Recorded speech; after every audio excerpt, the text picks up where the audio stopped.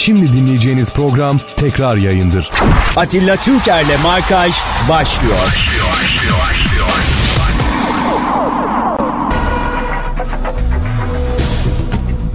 Radyo Spor'a Atilla Türker'le Markaj programına hoş geldiniz. Saatlerimiz 13.02. Yaklaşık bir saat boyunca sizlerle birlikte olacağız ve Atilla abiyle birlikte sizlerden gelen e, soruları cevaplayacağız, e, sohbet edeceğiz. E, konu konuyu açıyor Atilla abiyle genelde.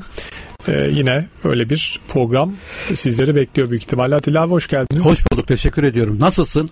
Abi bu sefer siz erken evet. davrandınız. Valla bugün biraz uykuluyum Atilla hmm, abi. Nedense sabahtan bu yana evet bir uyku hali var hiç olmadığı kadar. Biraz e, hava soğuk ama işte içerisinin sıcak olması sanki bir e, bende böyle bir rehavet oluşturdu iyice hani tırnak içinde mayıştım. Kaç saat uyudun? Içinde. Uyuyorsun veya kaçta yatıyorsun? Kaçta Valla bu ara Dünya Kupası olduğu için e, 12'de e, yatıyoruz. Onda başlayan karşılaşmalar 12'de bitiyor yaklaşık. Sabahta böyle 5.36'da alarmım çalmaya başlıyor. 5.36. 5.45'te de ayaktayım e, net olarak. E, gün içinde bazen uyuyorum işte. E, ya işte eve gittiğimde 4 gibi ya da belki şirkette bazen ufak kaçamaklar yapıyorum aynen şekerlemeler yoksa hani 5,5-6 saatlik uykular e, çok sağlıklı değil her gün. Bilmiyorum siz ne kadar uyuyorsunuz bir günde ya ama. Şöyle bende uyku bozukluğu var. Bu yılların getirdiği maalesef kötü bir şey. Ama fark ediliyor zaten sabah 5'te 4'te uyanık ya. olmanızdan zaten insan anlıyor aslında da. Değil mi? Yani 30 yıldır 40 yıldır maalesef böyle. Babam da öyle bu arada. Değil mi? Uyuyamaz. Yani uyur ama çok nadir böyle bir saat iki saat çok derin uykuya girer ama onun haricinde hep tetikte genelde ayık olur. Benzer problem yani aynı yıllardır o da öyle. Yani tabii mesleki anlamda mı yoksa bizim jenerasyon mu böyledir bilemiyorum ama yani öyle deliksiz bir uykuyu çok az e, yaşadım, uyudum anlamında söylüyorum. Genelde gece 2-3 kere kalkarım falan otururum bir şeyler okurum film izlerim veya artık e, izlenecek çok şey var teknoloji gereği. Öyle akıyor gidiyor. Ne zaman uyanacağım ne zaman kalkacağım pek bellidir. Daha önce ben doğma büyüme Ankaralı olduğum için Ankara'da şöyle hayat mutlaka 8'de 8.30'da başlar. Mesela ben Hürriyet gazetesinde Milliyet gazetesinde diğer gazetelerde söylememe gerek yok. Star'da tercüman gazetesi falan. Her zaman büroda yani gazetelerin bürosunda zaten ben gazeteciliğin dışında herhangi bir işte bir dakika bile çalışmadım. Bürolarda en geç 9'da olman gerekiyor. Hatta ismi lazım değil bir beyefendi e, servis sorumlusu. Ben işe şöyle önce cümleyi şöyle kurayım. Kayseri'ye deplasmana gitmiştim. Kayseri'den diyelim Kayseri Spor Ankara gücü veya Kayseri Spor Gençler Birliği maçına ki her deplasmana giderdim genelde her hafta sonu. Gece yani sabaha karşı 4 gibi geldim. Keçiören Aktepe'de oturuyordum ben o zamanlar. 4 gibi geldim eve gittim. Ne oldu? 2-3 saat uyudum işte. Sonra otobüsle bin git İş yerine 9'u 20 geçe gittim. Bak 9'u 20 geçe sabah. Yani düşünebiliyor musun? Yoldan gelmişiz o kadar yorgun, argın, uykusuz falan. Yan masadan bana yan masaya yan masadan telefon açtı bugün izinlisin dedi. Yani 20 dakika geç kal. Ya arkadaş biz neler çektik ya. yani izinlisin mi diyor bir de? İzinlisin diyor. Ukalalığa bak. Yani tabi bazı insanlara çingeneye beylik vermişler. Önce babasını kesmiş. Bizimki de o hikaye. Yani hele bizim jenerasyondaki belli insanlar e, yani şimdi ajitasyonda yapmayayım ne bileyim kesmeyi, doğramayı, bağırmayı, yetkiyi falan çok son derece kötü kullananlar da oluyor. Çünkü gazeteciliğe gönül vermişsin iyi kötü. Gazete, gazetecilik tahsili yapmışsın veya yapmamışsın hiç önemli değil. Ne düşünüyorsun böyle? İyi bir gazeteci olayım, gecemi gündüzüme katayım ama ondan sonra görüyorsun ki yani senin haberini çalanlar, seyahatini çalanlar, senin kuyunu kazanlar. Şimdi mesela bana bak laf, laf nereden nereye geldi kimse de bana kızmasın. Şimdi mesela ben sürekli küfür yiyen bir insanım.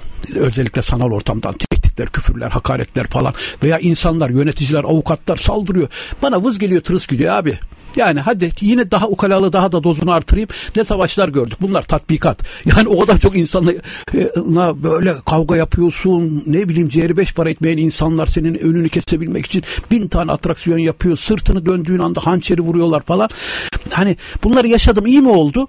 Ha şöyle bunları yaşamadan da ayakta kalamıyorsun kardeşim. Bunları yaşa, yaşayıp ders alıyorsun. Düştüğün zaman kalkmayı bilmek gerekiyor. Bak önemli olan yani e, başarıya ulaşabilmek için önce bir yenilgileri falan yaşarsan hiç olmazsa ders alıyorsun. Hani öldürmeyen yara güçlendirir derler ya çok önemli bir laf. Göte'nin lafı mıydı bu? Artık tam bilemiyorum. Hatta Aykut Kocaman'la Ankara'da bir röportaj yapıyorum. O zaman Ankara Spor teknik direktörü sevgili hocamız Aykut Kocaman röportajı bir anında dedi ki ben dedi teknik direktörlük yapacak bir yapıda değilim. Atilla bazen abi der bazen bey der kibar insandır.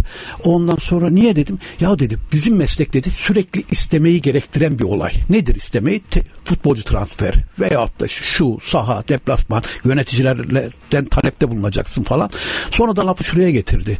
Yani hatta ben Fenerbahçe'den kopma sürecini dinlemek istedim Oğuz'la Aykut'un e, Alişen döneminde hı hı. ki o efsane Fenerbahçe'nin efsane futbolcuları ikisi e, izah etmesini anlatmasını istedim. Onun lafını unutmuyorum hiç. Kurt kuzu yemek istedikten sonra bahane çok olur dediydi. Sonra da lafı şuraya getirdi. Öldürmeyen yara güçlendirir. Hakikaten bakıyorsun ilk başta derinliği çok fazla bir kere. ilk başta pek anlamadım ama gerçekten de savaşa gireceksin, çıkacaksın, yenilsen de düşsen de tekrar ayağa kalkacaksın. Büyük hedeflere ulaşabilmek için mutlaka çok büyük savaşlara girmen, çok büyük kavgalara girmen. Ha gir, girmen gerekiyor derken seni o kavgaya sokuyorlar. Önemli olan o düştüğün zaman kardeşim dizinin üzerine önce ayağa kalkacaksın, sonra koşacaksın. Yoksa gözünün önüne bak. Herkes için geçerlidir bu. Yani özellikle ön, e, örnek aldığımız insanlar Türkiye'de ve dünyada ne yenil, müthiş yenilgiler yaşadılar. Yenilmeyen insan yok veya çok büyük darbelerle, ihanetlerle karşılaştılar var. Yani aklına kimi getir? Ulu Önder Atatürk'ten başla günlük Türk sporunda, siyasetinde herkes çok büyük darbe. Ha o darbe karşısında ezilen, büzülen, ay benim başıma bu da mı gelecekti? En güvendiğim insan bana nasıl e, hançer e, sapladı falan dersen geçmiş olsun kardeşim. Patinaj yaparsın, kaybolur gidersin. O bakımdan sürekli mücadele gerekiyor. Ee, kendi adıma da söylüyorum. Bu birbirinden güzel insanlarla da karşılaştı. Hayat bu. Hani e, doğru olduktan sonra, dürüst olduktan sonra ben kendim doğruyum, dürüstüm kesinlikle demiyorum. Yani bu yanlış olur. E, başkaları derse der o ayrı bir mevzu. Fakat hayatta mutlaka e, ya artık hayatın daha doğrusu yaşamın kuralı demeyeyim de mutlaka ihanetler oluyor. Adilikler oluyor. Fırıldaklıklar oluyor İnanın önemli olan bunlara göğüs germek ama şu da var. Mesela ben saf insanımdır. Bunu saf derken aptalım anlamında söylemiyorum. Ne kazandıysam saflıktan, ne kaybettiysem de saflıktan. Mesela bana bir belge gelsin veya inandığım bir haber olsun. Ben bu nereye gider? Kim zarar görür? Kim yarar görür? Umurunda değil abi. Önemli olan onu yazmak, konuşmak. Artık nereye Hatta inanılmaz çarpıcı bir şey söyleyeceğim. Kimse kusura bakmasın. Benim yazdığım haberlerin bazı belgeleri bana meslektaşlarımdan geliyor. Mertelam Mert Elam meslektaşlardan geliyor. Bak önemli olan özgürce konuşabilmek, yazabilmek, dik durabilmek. Yoksa dediğim gibi bunu söylersem acaba benim patronum bana ne der? Yok onu dersem Fenerbahçe beni dışlar mı? Veya tribünler ne falan dersen kaybettin kardeşim. Yani Maçta da hakem bakacak kardeşim. Fenerbahçe Beşiktaş değil veya Galatasaray Trabzonspor değil. E, A takım B takım. Ona göre düdük çalacak. O doğrultuda e, üstüne basarak söylüyorum. Yani iyi niyetli olduktan sonra sonuna kadar devam etmek gerekiyor. Hayatta da düştüğün zaman ay ben niye düştüm demeyeceksin abi. Kalkacaksın yoluna devam edeceksin. Zaten hayatta da başarılı olan her insan mutlaka büyük darbeler görmüştür. Her zaman da hepsi kalkmayı bilmiştir. Bak şimdi isim isim saymaya gerek yok futbolda ne kadar insan varsa hani ekonomide de öyle siyasette de öyle hepsi mutlaka yere düşmüştür. Hem de bir kere değil üç kere beş kere on kere. Önemli olan düştükten sonra dizlerin üstüne top, toparlanacaksın ayağa kalkacaksın Yürüme de değil koşacaksın. Darbesiz hayat olmuyor kardeşim. Yani darbesiz dersen ihanetsiz hayat olmuyor maalesef. Görmedim ben bugüne kadar. Çok mu konuştum yine? Estağfurullah. Tam güzel zamanda e, durdunuz. Reklama gidebiliriz. Anlıyorum. Senin göz bak gözlerinden anlıyorum artık. E, kardeşimle göz göze geliyorsunuz. Hemen ben topa basıyorum. Aynen. Haydi. Atilla Türker'le Markaj devam ediyor.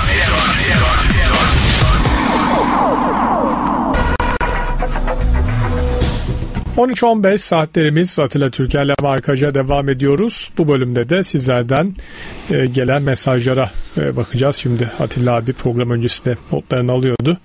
E, şimdi onların üzerinden devam edebiliriz abi. Evet cep telefon numaramı hatırlatacak mısın? E, 549 371 0705 549 370 549 371 0705 Evet mesajlar zaten yayından önce de çok sayıda geldi. Herkese teşekkür ediyorum. Tek tek okumaya, yorumlamaya çalışacağım. Sevgili Eray, evet sabah erken saatte geldi. Merhaba Atilla abi. Size kitap size daha önce çıkan kitabımı yollamıştım. Umarım beğenmişsinizdir. Şimdi ikinci kitabım çıkıyor. Sizin kitabınızı henüz alamadım malum fiyatlardan dolayı. Kendisinden de özür diliyorum bu arada. Hemen parantez açayım. Eray, Eray bana daha önce çıkan kitabını yolladı. İkinciyi de herhalde yollayacak ama ben Eray'a kitabımı, kendi kitabımı yollamamışım. Bu şekilde özür Buradan diliyorum. onu anlıyoruz evet. Buradan mesela. onu anlıyoruz sevgili Eray. Kusura bakma özür diliyorum. Hemen şu anda e, adresini yollarsan ben sana ilk planda yayın evine gittiğimde ki gideceğim Cağaloğlu'nda yayın evi sana mutlaka imzalı olarak kitabımı yollayacağım. E, teşekkür ediyorum. Ayrıca şunu söylemiş sevgili Eray. Size beni özellikle Dünya Kupası rahatsız eden bir konudan bahsetmek istiyorum. Hakemler her duran topta ceza sahası içindeki futbolcular uyarıyorlar. Bu uzun süre alıyor. Penaltılarda ceza sahasına girmeyin. Kaleciye çizgide dur diyor hakemler. Zaten bunların hepsinde yapılması durumunda cezası var. Bana bu gösteriş gibi geliyor. Yoksa hakem neden futbolculara kameraları göstersin? İyi yayınlar diyor. Mert Bey'e selamlar. Madem Mert Bey'e selamlar cevabı da Mert Bey versin. Çok güzel bir konu. Evet. Ee, Dün de hatta ben Heh. e, bir maç izlerken artık bunun çok gereksiz uzadığını düşündüm. Bu uzun yıllarda aslında yapılan bir şey. Duran toplarda hakem illa böyle iki didişen futbolcuyu böyle ayırır, kenara çeker, ikisine de konuşur ama bu Dünya Kupası'nda biraz daha fazla. Ben de anlamıyorum. Yani burada eğer bir ihlal zaten yapılıyorsa e, cezası orada ya fauldür ya da işte penaltıdır. E, Bir şekilde cezası bellidir. E, Penaltı için de aynısı geçerli. Niye bu e, oyunu iyice duraksatıyorlar? Onu ben de anlamıyorum. Sonuçta oyun Doğru, akması çok daha iyi. Orada gereksiz bir yarım dakika, bir dakika çalınıyor hakem orada uyaracak diye. Bırak. Orada ne yapıyorlarsa yapsınlar. E, faulse faul çal. Penaltıysa penaltı çal. Yani Doğru ben de katılıyorum buna. Çok fazla uzuyor. Ben en az oradaki 50 şey. yıldır futbol izliyorum. Hemen hemen her maçta bu yıllardır yapılıyor. Ha, gerçekten uyarmalarına gerek var mı? Ha, ihlal eden Eray'ın dediği doğrultuda konuşuyoruz zaten. İhlal edene zaten kardeşim bileceksin kuralı. Ha, kuralı ne bileyim abi gere şeye faul yapmayacaksın. Cezası zaten var. Bir de hala kaleciye gidip e, ayağının biri çizgiye bassın diyorlar mesela. Kaleci bilmiyor mu artık bu e, belli olan bir şey. Her maç, her penaltıda gidip kaleciye bunu söylemek. E, dışarıda bekleyen futbolculara işte çizgiye ihlal etmeyin demek. E, bunlar zaten artık yani iki kere iki dört bunlar futbolda bilinmeyen şeyler değil. Bunları sürekli e, futbolcuya söylemek bir yerden sonra bana da kabak tadı verdi. Aynı şeyleri hissettim vallahi dün dinleyicimizle. Bunu bir hakem hocalarıyla ya da hakemlerle Hep onlardan tabii bir konuşalım. Yani Niye bu kadar ısrar ediyorlar bunda? Bir de dünyada bile bu. Şimdi nihayet izlediğimiz hani şunu biz Türkiye'deki maçlarla ilgili konuşmuyoruz. Türkiye'dekiler geçerli tabii ha. Fakat dünyada bile bu böyle yapılıyorsa acaba niye e, tekrar tekrar uyarıyorsun? Onu bir hakem hocalarıyla, hakem kardeşlerimizle, dostlarımızla da konuşmakta fayda var. Ne bileyim maç başı yaparsın seremonide uyarırsın. Penaltılarda şöyle yapın. Serbest vuruşlarda böyle yapın. Yani onu o briefingi e, maç başında verirsin. Hiç zamandan da e, çalınmamış olur. Kesinlikle sevgili Eray'a teşekkür ediyoruz. Eray adresini bekliyorum güzel kardeşim. Mutlaka kitabı imzalı olarak yollayacağım. Sevgili Yavuz Baysal Almanya'dan. Göztepe Altay maçında yaşanan futbol terörünü kı- kınıyorum. Eski maçlarda yaşanan olaylara ve sahaya giren seyirciye caydırıcı ceza verilmediği için bu olaylar yaşanıyor. Abi sahanın içindeki korner direğini kalecinin kafasına vurmak ne demektir? İşaret fişeğiyle seyircinin suratını parçalamak ne demektir? Çok yazık demiş. Ayrıca bir fotoğraf yollamış sevgili kardeşim. Fotoğrafta kendi kızıyla yeğeni var. Bacanağım ve kızı ben ve kızım Frankfurt Bayan Münih Kadınlar Ligi açılış maçına gitmiştik. Kırmızı işaretli olanlar kızım ve yeğenim. Arkada oturan mavi işaretli ise bayan taraftarı. İçimizde çok bayan taraftarı da vardı. Güldük, eğlendik. Maçımızı izledik. Bu kadar yani. Bu kadar yani değil mi abi? Yani ya vahşet ya. Ben o, o Göztepe Altay maçını görüntüleri izled, ilk izlediğimde inanamadım. Bakın abarttığımız sa- sa- sanılmasın. 2-3 gün boyunca yüzden fazla izledim. İnanamıyorum ya. Ya nasıl bir vahşet, nasıl bir olay. Yani millet e, ne yer ne içer. Yani şimdi bazı şeyleri de kullanmak istemiyorum. Zaten hemen hemen tüm dünya bu görüntüleri izlemiştir. Herkes 3 aşağı 5 yukarı ben, benimle hepimiz aynı görüşte. Tüm dünya aynı görüştedir. Yani şimdi oradan atlıyorsun gidiyorsun e, yani alkollüydüm demiş ifadesinde. Yani Kaleciye saldıran şahıstan bahsediyorsunuz. ya kale tabi o beyefendi, beyefendi de, demeyeyim de şimdi ne yedi ne içti kelimeleri de yanlış kullanmak istemiyorum ama hatırlamıyorum falan diyor da tabi cezadan kurtulmak için falan böyle saçma sapan şeyler söylüyor ama neyse ki ölen olmadı herkesin e, için iyi bir şey bu. Bu arkadaş herhalde birkaç yıl cezaevinde yatar mı yoksa üç gün sonra tahliye mi olur? Üç gün sonra demeyeyim de. Mesela şu aklıma geldi. Ankara'daki maçta da Ankara gücü taraftarıydı değil mi? Sahaya girdiydi. E, Joseph de Souza'yla olan olayı kastediyorum. Orada bazı kişiler paylaşmış. Bu e, İzmir'deki maçta sahaya giren arkadaşın avukatları şunlar olsaydı ilk duruşmada tahliye olurdu. Şey e, ilk duruşmayı da değil. Anında karakolda serbest bırakıldı o bildiğim kadarıyla. Veya savcılıkta serbest bırakıldı. Özür dilerim. Yani ya inanılmaz örnekler var. Şimdi bunların önüne nasıl bir vahşet bu ya. Başka hiçbir şey. Nasıl ne akla hizmet. Yani ambulansın e, içinde şoför o patlayıcıları almış tuvalette birilerine vermiş. Ya insan patlayıcıyı niye götürür ya? Gözünü seveyim ya. Ne akla hizmettir? Na, nasıl bir düşüncedir ya? Ambulansın şoföründen tut da taraftar her maç için geçerli bu. Bu arada daha önce Sakarya maçında da Altay tribüne işaret fişeği atmış. Ee, ama o zaman herhangi bir yaralanma olmadığı için bu kadar fazla gündem olmamış. Yani bize gelen mesajlarda onlar da vardı. Yani bu ilk vukuatları değil işaret fişeği konusunda. Şimdi, kez yaralamışlar. Şimdi şey. araştırmadım ama e, şimdi sana sormak istiyorum. Bu e, olaylı maç sonrası takımlara, kulüplere ne ceza verilir? Valla okuduğum kadarıyla iki takıma da hükmen mağlubiyet e, cezasının verilebileceği söyleniyor. Bunu bilmiyorum. E, Türk futbol tarihinde bir emsali bir örneği var mı? İki takıma birden hükmen evet, mağlubiyet yani Sonuçta bir e, Göztepe taraftarı e, kaleciyi darp etti. Diğer tarafta da Altay taraftarı işaret fişeği attı. Yani iki takımın da aslında ağır cezalar alması bekleniyor ama e, iki takım birden hükmen mağlubiyet de ilginç bir karar olur. Bilemiyorum o yüzden nasıl Vallahi ben yönetmelik e, buna müsaade biraz ediyor bu mu? konular hafızamda iyi yer eder yani. E, genelde incelerim, takip ederim falan. 50 yıl boyunca ben iki takıma da hükmen yenilgi verildiğini hatırlamıyorum. Varsa dinleyicilerimiz falan hatırlatırsa iyi olur. Ha doğru mu olur? Doğru olur abi. Yani ben hani verilmedi diye verilmemesi gerektiğini söylemiyorum. Yanlış anlaşılmasın. Tabii. Yani en ağır cezanın verilmesi gerektiğini düşünüyorum. Ha ne olur? Ayrıca kaçma seyircisiz oynama. Bir kere seyircisiz oynama cezası mutlaka verilmelidir. Yani kimse kusura bak. Ha bir tane, üç tane, on kişinin yaptığı ne bileyim ya kelimeyi boş bırakıyorum. En Aslında... ağır kelimeyi isteyen doldursun bu boş bıraktığım yere. O, o kişiler yüzünden de yani inanılmaz bir cezalandırma olacak ama kimse kusura bakmasın Orada da kardeşim. ama işte Pasolik e, Atilla abi bu bireysel ceza olsun diye gelmedi mi? Evet. Şimdi orada bir kişi yaptı tribünden, diğer tribünden de bir kişi yaptı. Onların aslında ömür boyu men alması lazım. Diğer tribündekilerin günah olmayanların bir sonraki maça niye girmesinler aslında? O da çok hakkaniyetli bir ceza almıyor işte tribünü kapatınca ama mecbur bu düzende de tribün kapatma cezası veriyorlar. Bireysel bir cezalandırma e, uygulayamıyorlar. Bir kere şu kesin. O kişilere kesinlikle ömür boyu hak mahrumiyeti şu bu falan olmalı lazım. Mesela dün gece yahut, da önceki gün Karşıyaka'nın eski bir yöneticisi bana e, WhatsApp'tan yazdı. Atilla Bey dedi olay çıkartan kişilere 6222 sayılı yasa gereği para cezası kesiliyor. Şu kesiliyor bu kesiliyor. Adam parayı ödüyor. Gel, elinde faturayla geliyor makbuzlar her neyse cezayı ödedi. Değil mi ödedi. Uyduruyorum tabii 3000 lira ceza ödedi. Geliyor ben Karşıyaka için veya Göztepe için Altay için veya Fenerbahçe Beşiktaş neyse takımlara takılmamak lazım. Ben bunu bana Karşıyaka Kulübü yöneticisi yazdığı için aktarıyorum ama e, aynı kişi tüm kulüplerde hemen hemen benzer oluyor diyor. Düşün. Mesela isim önemli değil dediğim gibi cezayı ödüyor.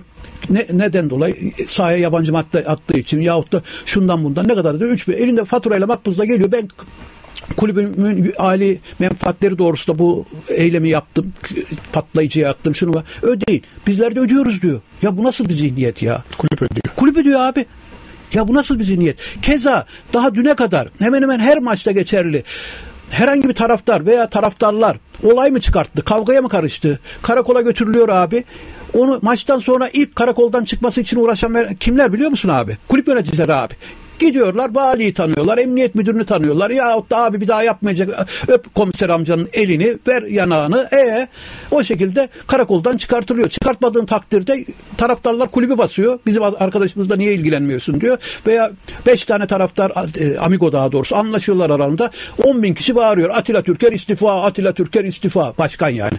Ya, Atilla Türker derken işte herhangi kulüp başkanı anlamında söylüyorum. Ya inanılmaz bir çark var ya.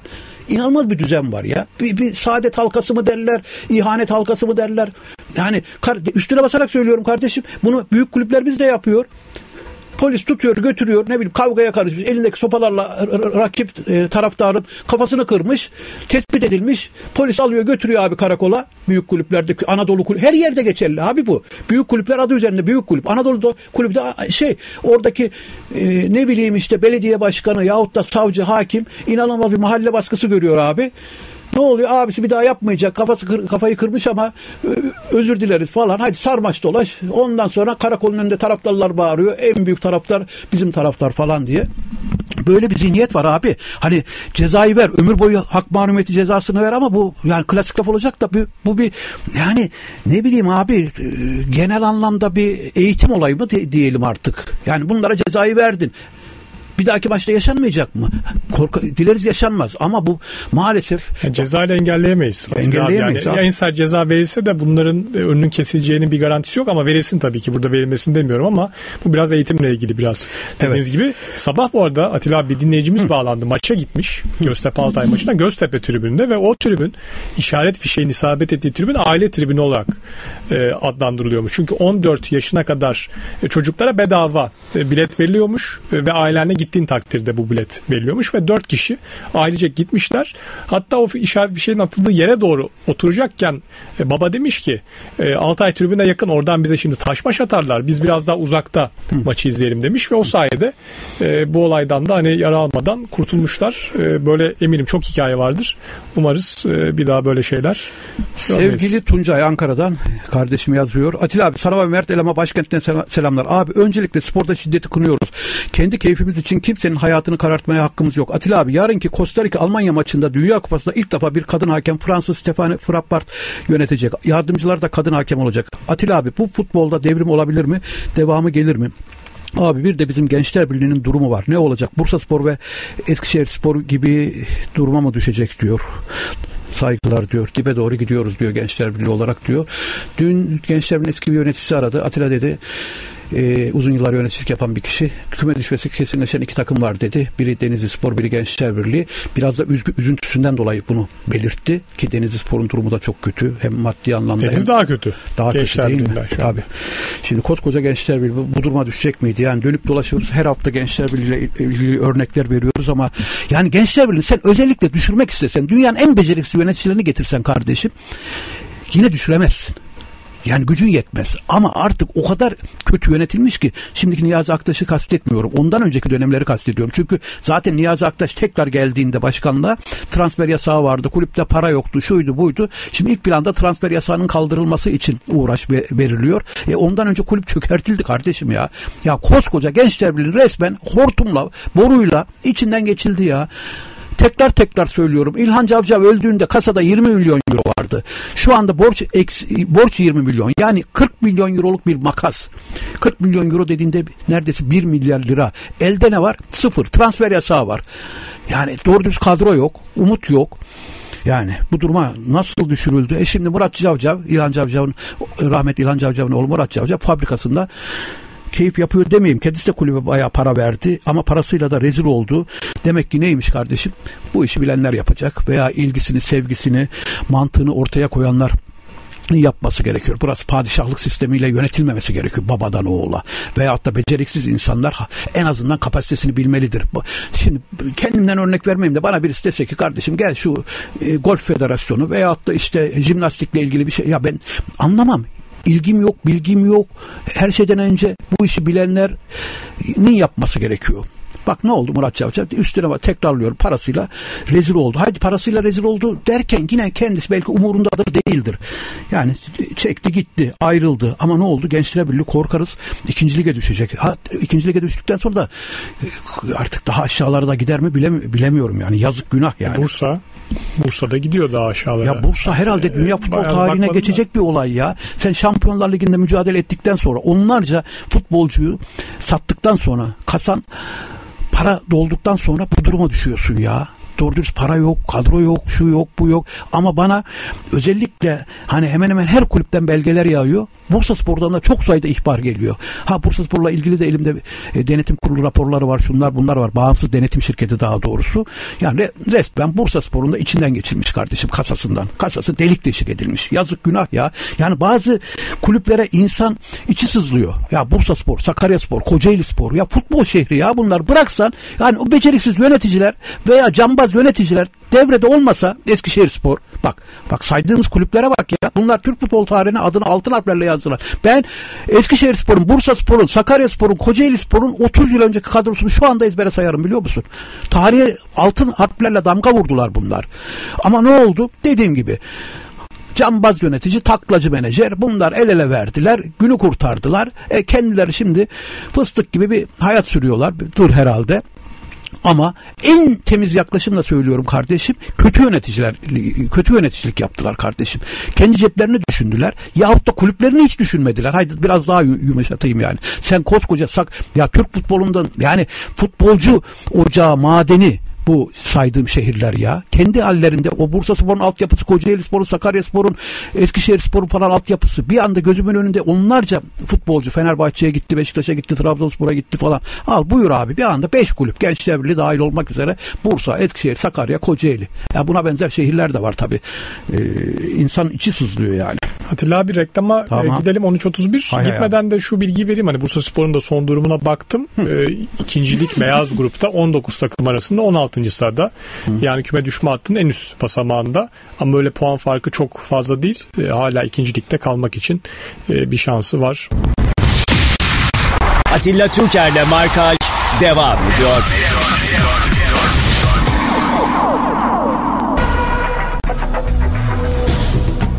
13.36 saatlerimiz Atilla Türker'le markaja devam ediyoruz. Mesajlar yağıyor.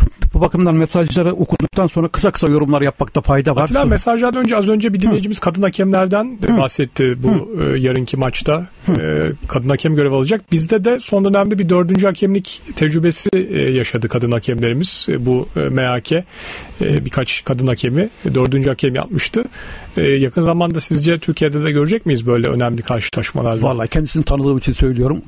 Gamze Durmuş Pakkan çok büyük istikbal vaat ediyor. Hatta onun için Fransız hakeme biraz önce ismini okudum. Frappar. evet aynen onun gibi deniyor.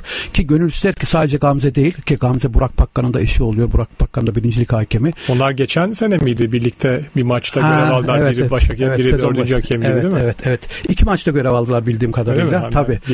Yani gönül ister ki hepsi Allah e, Allah yollarını açık etsin.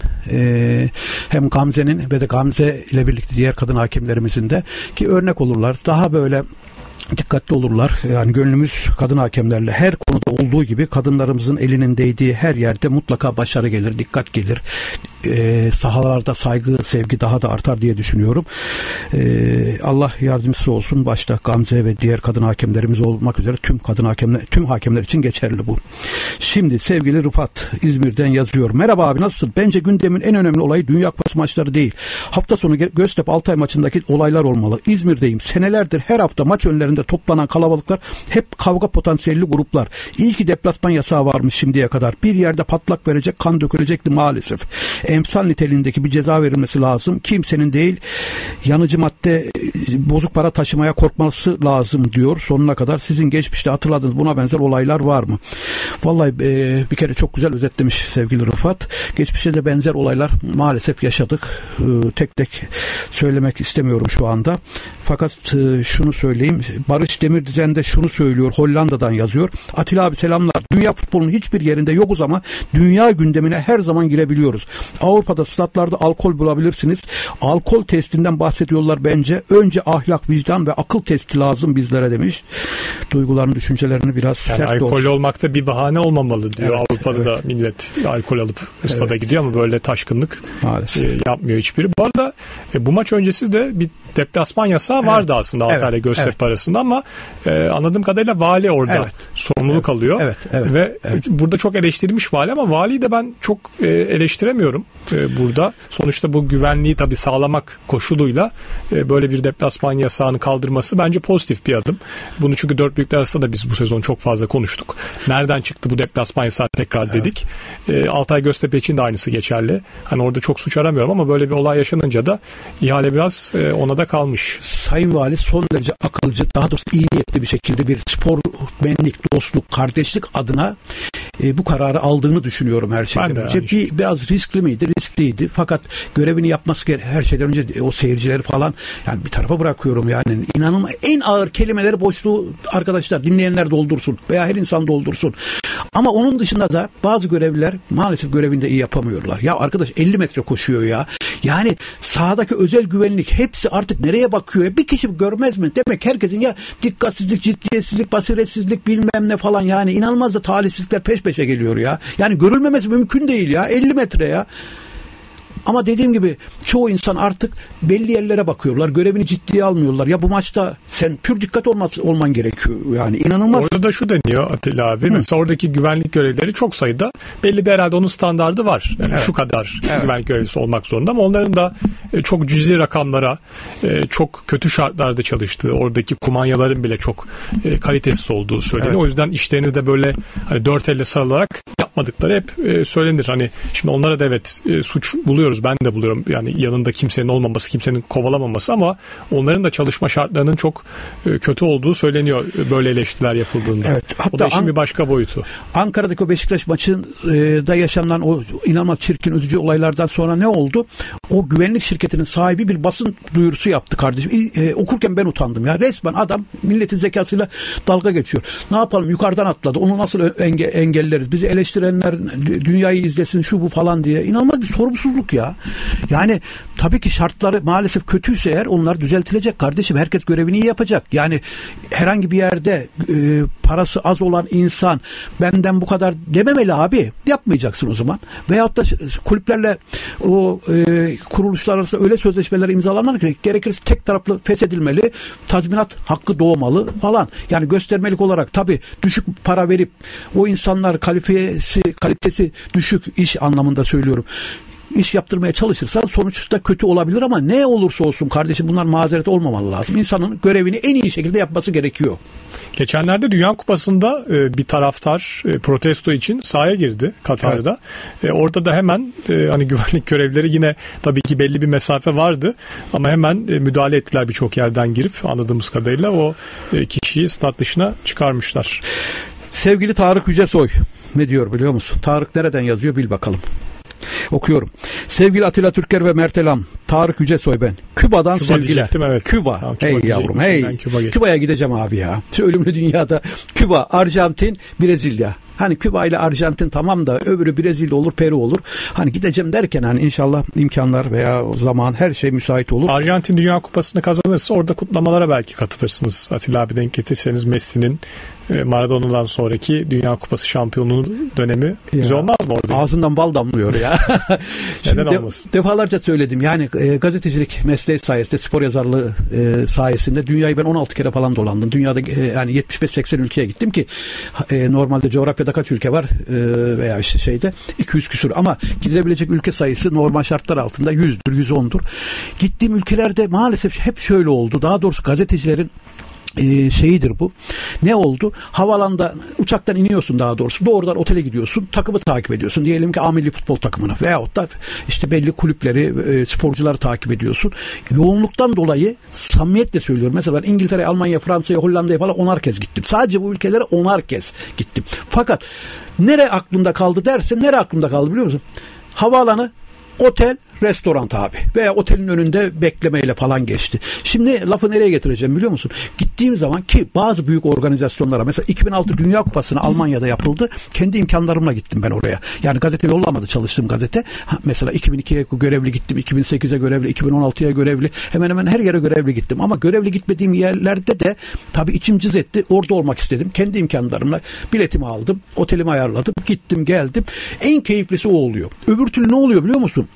Mesela 2002 Dünya Kupası, Japonya, Kore, Hong Kong, Macao Adası falan derken abi koşuşturmaktan ne yapacağını şaşırıyorsun. Futbolcular haberi atlamayayım, zıplamayayım, fotoğrafı geçeyim, işte nasıl giderim falan derken oranın güzelliklerini veyahut da tarihi, kültürel şeyleri yaşama e, durumun minimuma iniyor. Fakat aa, hiç görevin olmadığı zaman kardeşim kimse de sana hesap sormuyor. Öbür türlü çünkü sabahın 8'de müdür arıyor İstanbul'dan. O zaman tabii diyelim ki ben e, herhangi bir ülkedeyim arıyor. Bugün ne yazacaksın? Bak şu haberi atlamışsın. Bugün at, elinde atlatma haber var mı? Teknik direktör Fatih Terim'le röportajı yaptın mı? Falan fıstık. Sinir stresten dolayı hani bunda kimse yanlış anlamasın. E, koşturmadan dolayı o tür güzellikleri yaşama şansın minimuma iniyor. Bu arada Tarık Yücesoy'un mesajını okuyup sevgili Tarık seviliyorsun. Sürekli mesaj atıyor. Hatta Mayıs ayında Türkiye'ye geliyorum abi dedi. Bir, bir de jest yapmış da e, şimdi okumak istemiyorum bu jesti ama teşekkür ediyorum kendisine. Diyor ki Küba'dan sevgiler iyi yayınlar diliyorum diyor Tarık Yücesoy e, Küba'dan. Kanada dönüş günü ve bir daha çarşamba günlerine denk gelen uçak bileti almayacağım.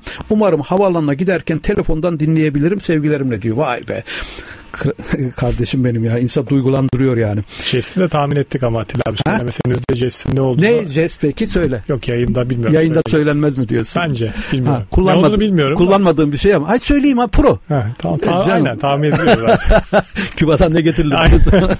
Ay, sağ olsun. Ee, ki bir daha da istemiyorum. Hakikaten bu e, düşünmesi yeter her arkadaşımın, kardeşimin. Şimdi abi iyi günler. Halkalı'dan Mahmut. Abi Çaycuma, Çaycuma amatör ligindeki takımın akı akıbetinden bir haber var mı? Yoğun bakımdaydı kalecisinden demek evet. istemiş düzeltmişti aşağıda. Nedir bu? Ben reklam arasında sana sormuştum. Orada e, kalecinin başı mı yarıldı? E, süper amatörde ha. Akın Spor Çağ Cuma Spor maçı oynanıyor. 52. dakikada rakip futbolcuyla kafa kafaya çarpışıyor. Oo. Çağ Cuma'nın kalecisi Aykut Demir Belen e, kafatasında çatlaklar oluşmuş. E, çarpışma ve sonrasında yere de düşerken yine kafasını çarpıyor. Kanaması olmuş. Hmm. E, beynin içinde ve dışında e, bir süre yoğun bakımda kalmış ama son e, şimdi bir an biraz önce baktım haberlere durumu iyiye gidiyor demiş Ay, Allah e, kulübün versin. başkanı. Ama hala tabii müşahede altında çok e, hani ameliyat da olmuyor durumunu gözlemliyormuş doktorlar. Ameliyatlık bir durum yokmuş kanamanın tam olarak e, durmasını bekliyorlarmış. Bakalım inşallah daha iyi haberler e, gelir kendisinden. Bir Allah, hayati tehlikesi gözükmüyor Allah şifa versin kardeşimize. Evet Antalya'dan Onur, sevgili Onur, canım kardeşim diyor ki iyi yayınlar sizlere sorum. Günümüzde sıklıkla karşılaştığımız kadına, kediye, köpeğe, insana uygulanan şiddetin bir yansıması bu hafta yeşil sahalarda İzmir'de kendini gösterdi. Tecrübenize dayanarak bu olayların son bulması, son bulması için alınabilecek en radikal karar nedir? en radikal karar. Son bulması için herhangi bir şey mümkün değil. Bu... Kısa vadeli bir olaylarla e, çözülmesi son derece zor. Yani şimdi en ağır cezayı da versen e, şeyler ölümler devam etmiyor mu cinayetler? Evet, hani sonuçta maalesef. hani futbol dışına çıkalım. E, yap, hala devam ediyor en ağır cezaları alsalar da. O yüzden herhangi bir e, bunun sonu olmayacak maalesef. Sadece e, bunun ihtimalini azaltabiliriz e, evet. e, ağır cezalar vererek. Yoksa sıfırlanmayacak evet. bunlar. Sevgili Bora e, bu arada Onur Feder'e selam söyle Selahattin Bey'e. Selahattin Bey'e iyi bir takipçimiz Selahattin Bey de Onur'un sevgili babası. Evet Bora Ayhan diyor ki Atilla abi Altay Göztepe maçındaki olaylar umarım ders olur fakat pek de ümitli değilim. Çanakkale'den selamlar. Sa- Sayın Saadettin Saran pazartesi günü burada Çanakkale 18 Mart Üniversitesi'nde idi diyor. Evet sağ olsun var olsun. Orada e, Saran Grup önce evet. 23. E, spor salonunu evet. açtı. Yine e, devrettiler. E, Saadettin Bey de oradaydı. Bizden de birçok kişi katıldı. Sonrasında üniversitede bir söyleşi evet. yapmış Saadettin Bey. O da bugün de hatta gazetelerde bayağı röportajı evet, var. Sadece evet, evet, Fenerbahçe evet. Başkanlığı, evet. Fenerbahçe futbol takımı, evet. erkek basketbol takımı, başka hocalarıyla ilgili hem basket hem e, futbolun evet. güzel e, sözler sarf etmiş o da. Harika bir olay. Evet. Nedim Küçük diyor ki sevgili Atilla Türker, Alişen Başkan'ın Oğuz Çetin ve Aykut Kocaman hakkında aldığı karar tam zamanında alınmış ve Alişen Başkan'ın aldığı en doğru kararlardan biridir. Bunu o zamanın kulüp içi ortamını biraz iyi gözlemleyen ve kıyısından köşesinden içinde bulunan biri olarak söylüyorum. Unutmayın bu iki futbolcu yüzünden 103 gollü şampiyonluktan sonra yıllarca bu diye kesilmiş orada. Evet kulübün yapısını iyi bilen birisiyim dedi. Mesajını da okuduk. Evet. Doğru bir karar mıydı sizce? Pek sanki öyle algılamadım sizin söylendiğinizi. Yani şöyle tabii e, kardeşimiz Nedim Küçük o dönem kulübün yapısını çok iyi bilen birisiydi diyor. E, kendisine de saygı duyuyoruz ama tabii benim yaşadığım dönemde en azından ben o zaman bir muhabirdim ama kulübün yapısını falan bilmiyordum. Şu kadarını söyleyeyim. Oğuz Çetin, Aykut Kocaman o zamanlar için yani inanılmaz popüler, başarılı kişilerdi. E, Nedim Küçük'ün de görüşüne e, şöyle katılabilirim. Görüş derken yani en azından saygı duyuyorum anlamında katılmaktan ziyade do- doğrudur. Kulübün yapısını çok iyi biliyordum diyor.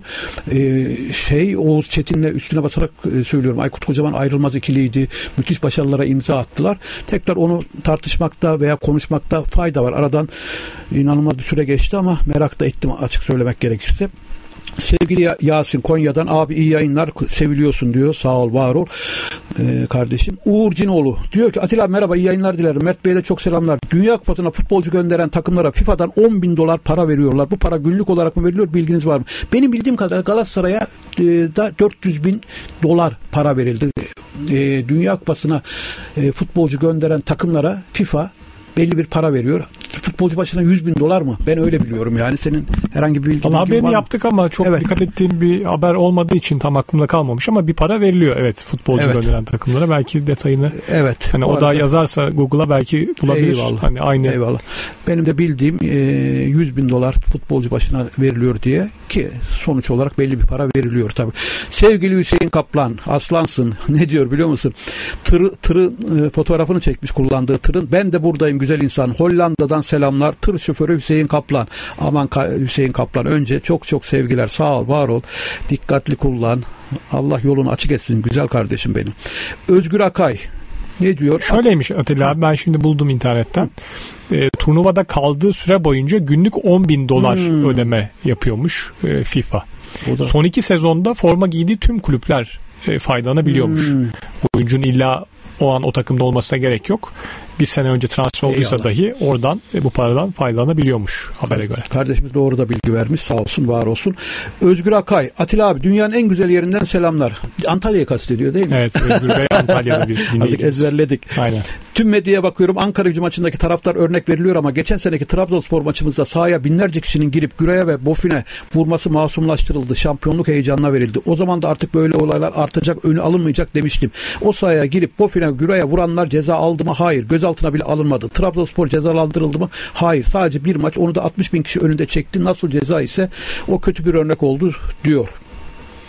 Olaylar özetlemiş. Osman Yıldırım kardeşimiz ay canım şu kucağında çocuğuyla yeni doğan çocuğuyla ki kısa bir süre önce söylemişti abi çocuğum oldu diye. Şu anda da fotoğrafını yollamış. Abi iyi yayınlar diyor. O çocuğun güzel yanaklarından öpüyorum Osman.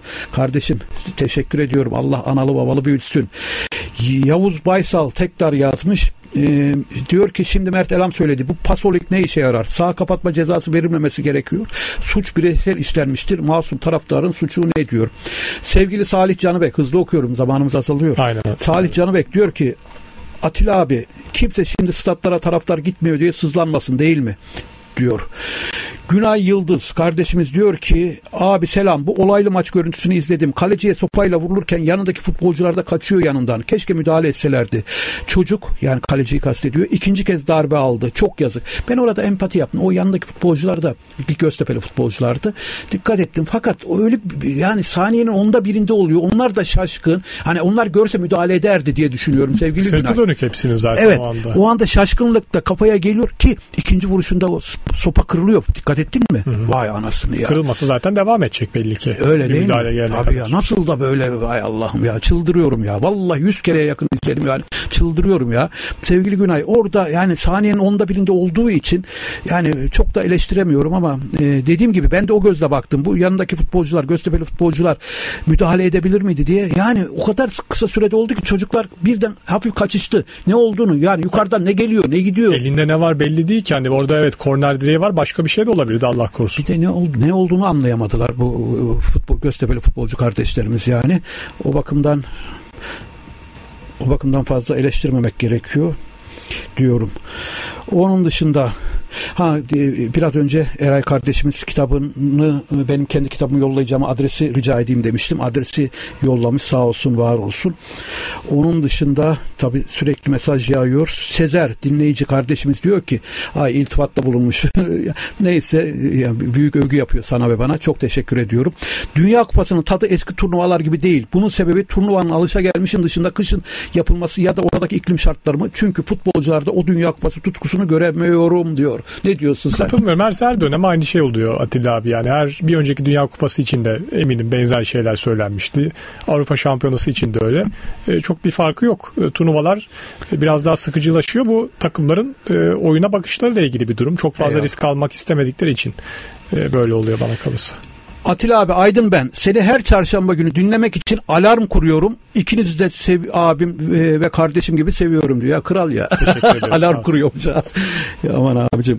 Sevgili e, Nedim'in e, mesajını biraz önce okumuştum. 103 gollü. Şimdi FIFA listesinde kimler var biliyor musun sen net olarak? FIFA Yeni. Ha yeni. Açıklanacak Evet. listeme. Evet. Ee, geçenlerde Cumhuriyet Gazetesi'nde Cumhur Önder Aslan'ın bir haberini gördüm. E, Zorbay Küçük çıkıyormuş e, ve Cüneyt Çakır da olmadığı Evet. için iki kişi Evet. gelecek. Atilla Karaoğlan, Ali Şansalan ve Erkan Özdamar üçlüsünden ikisinin. Erkan. Erkan. Erkan kesin olarak. Ee, Kes- kesin. Kesin. Erkan kesin. Er- evet evet. Diğeri Atilla Karaoğlan'la ya zaten iki kişi çıkıyor. Ali Şansalan da o listede yazılıyordu. Ha şöyle düşünülüyordur anlamında söylüyorum. kişi ben bunu en yetkili insanla konuştuğum için söylüyorum. En yetkili insan en yetkili derken sakın Sabri Çelik, Murat Ilgaz falan anlaşılmasın. Yani çok yetkili olay yazışmaları yapan. Ha o kişi beni yanıltıyorsa bilemem ama senin dediğin gibi bizim FIFA kontenjanımız, FIFA hakem listesi kontenjanı malum söyleme gerek yok. 7 kişi.